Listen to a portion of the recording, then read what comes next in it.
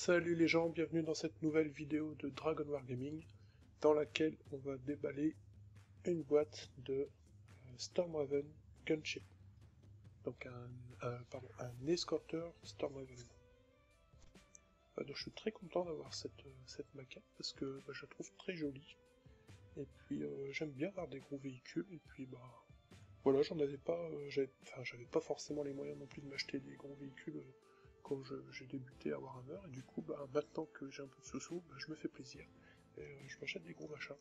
Donc c'est assez joli, et euh, bah, on va voir tout de suite euh, la boîte, à quoi elle ressemble. Donc on a une très belle illustration du véhicule. C'est une grosse boîte, par genre là vous le voyez pas, mais je viens de dégommer ma lampe. Et derrière on a, bah, pas grand chose d'intéressant. Euh, sauf qu'on a un aperçu général du, vaisseau et euh, un, aperçu des, différentes euh, armes qu'on peut mettre dessus.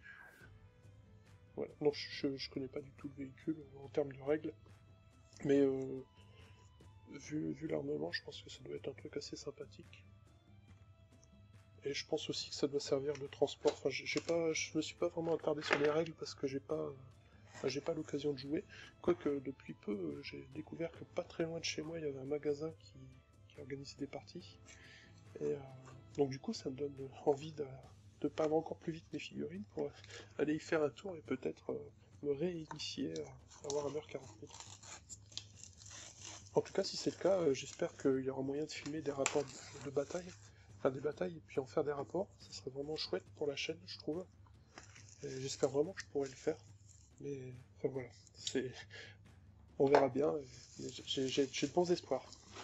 Bref, on n'est pas là, pas là pour parler de l'avenir de la chaîne, on est là pour déballer de la boîte.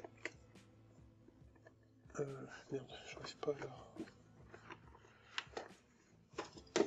Et hop, j'ai encore de dégommer ma lampe. En même temps, la boîte est, assez grosse, alors je sais pas si vous arrivez à voir. Euh, voilà, vous avez ma main. En plus, euh, j'ai pas, euh, pas une main de fillette, hein, j'ai une main assez large. Donc c'est quand même assez épais comme boîte. hein.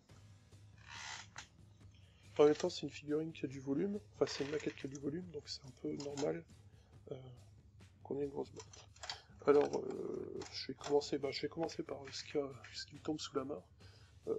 Non, je, je préfère, je préfère déballer comme ça et commencer comme d'habitude avec des décalcos, etc., etc.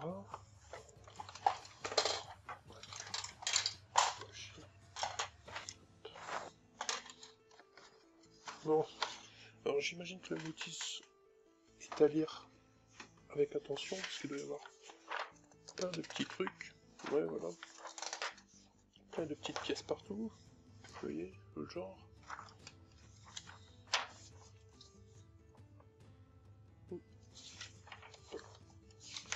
Bon, regarde vite fait. Elle est... Bon, elle est pas très épaisse, hein, cela dit. Donc ça doit être... Ça veut certainement vouloir dire que c'est pas très long à monter. On a une petite illustration à la fin. Dommage que ce soit en couleur. Mais bon, c'est toujours sympathique. Enfin, c'est l'illustration de la boîte en tout cas. Hop. Alors ensuite, on a évidemment les décalcos. Alors là, par contre, euh, si vous avez... euh, Bah, tiens, ça me paraît assez faible comme décalco pour un véhicule, mais euh, bah, si vous avez euh, d'autres chapitres Space Marine, bah, vous l'avez dans l'os, puisque visiblement, euh, c'est que pour les ultramarines. Voilà. Bon, il y a peut-être... Je, sais pas. Bah, de toute façon, avec les fiches de véhicules, si vous avez d'autres véhicules, euh, les fiches de, de, que vous aurez dans les autres véhicules vous serviront à, décorer euh, celui-ci, je pense. Alors ensuite, on a le socle. Donc un très gros socle, hein, logique. Et puis on a une partie aussi transparente, puisque c'est un véhicule volant. Euh, je sais pas trop... Bon, j'imagine que ça se colle, ces petits machins-là sont certainement à enlever et à coller comme on le sent, soit comme ça ou comme ça. Je pense peut-être plus comme ça. Donc on attaque tout de suite les grappes. Alors on a... On a... 2, 3... 4 grappes, dont une petite transparente pour les, les verrières du cockpit. Puis des, petits machins. Peut-être un petit viseur là on dirait.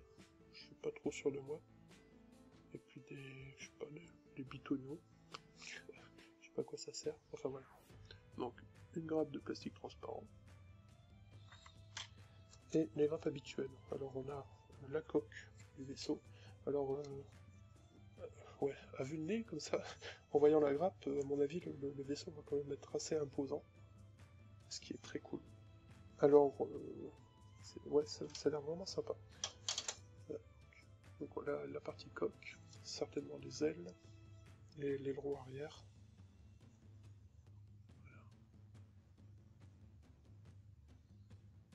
Je vais montrer l'autre côté ici.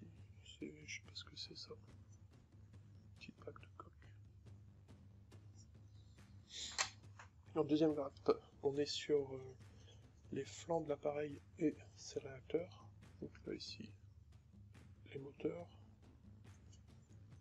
flancs avec des portes, donc euh, j'imagine que c'est vraiment un véhicule de transport, à moins qu'il y ait moyen de mettre des armes ici, je sais pas trop, un peu comme sur les Predators. Encore la coque. Et euh... ah bah voilà, si vous n'avez pas de, de décalco, bah au moins vous avez euh, des petits. Euh, j'arrête pas de cogner dans ma lampe. Vous avez des petits insignes à coller, donc ici pour les Blue Angel, et ici pour le comment s'appelle déjà, les Grey Knights des chevaliers gris. Ah non, aussi ici.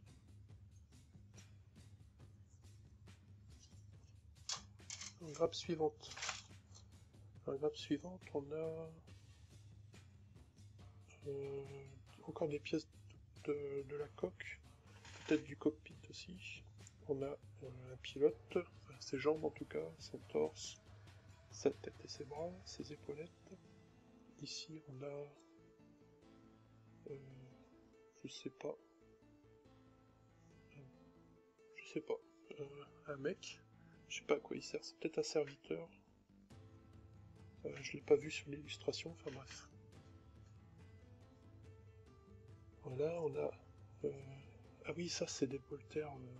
des bolters de Godin qui tirent je sais plus combien de balles en même temps. Bolter Cyclone, je crois. Je me souviens plus comment ça s'appelle. Mais c'est sympathique. Anti-infanterie évidemment. Les armes lourdes. Donc euh, canon d'assaut, canon laser. Aussi du multifuseur. Euh, puis lance-missile visiblement parce que là il y a l'air d'avoir des, têtes d'ogives. Euh, tous les...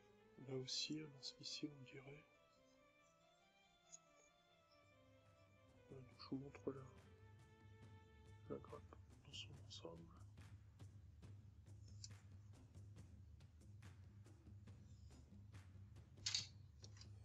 Et dernière grappe, on a, des armes encore, des plasma, euh, certainement des lance-plasma lourds à venir, vu la taille. On des parties de coque encore, des trains d'atterrissage les moteurs, les portes, les moteurs encore. Voilà.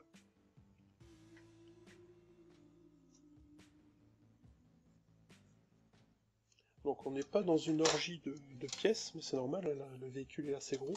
Par contre, euh, ça a l'air quand même assez détaillé. Euh, le design, bah franchement j'aime bien le design. Et puis euh, le véhicule a l'air vraiment massif. Il n'y a qu'à voir les moteurs. Enfin, c'est, c'est, excellent, comme je vous le disais tout à l'heure. Là, j'ai pas des mains de fillette, ça fait, je sais pas, ça fait 6 ou 7 cm ça. C'est quand même, c'est quand même pas mal. Ça doit faire une belle bête sur la table. Voilà, donc euh, on en a terminé avec cette euh, vidéo d'unboxing. Je pense que pour cette figurine-là, euh, peut-être aussi pour les Centurions que j'ai fait précédemment, je pense que je ferai des vidéos de, montage. Euh, c'est peut-être sympa. N'hésitez pas à me dire si ça vous plaît ou si au contraire ça vous plaît pas. Mais je pense que ça peut être sympa. En tout cas, de faire euh, euh, une série de vidéos qui montrent l'évolution d'une figurine ou d'une maquette pour un véhicule, du déballage jusqu'à la peinture finale. Je trouve ça assez sympa. J'aimerais bien pouvoir faire ça. si ça vous plaît, dites-le moi. Sinon, si ça vous plaît pas, dites-le moi. voilà, c'est terminé pour cette vidéo de déballage. Je vous dis à très bientôt sur Dragon War Gaming. Salut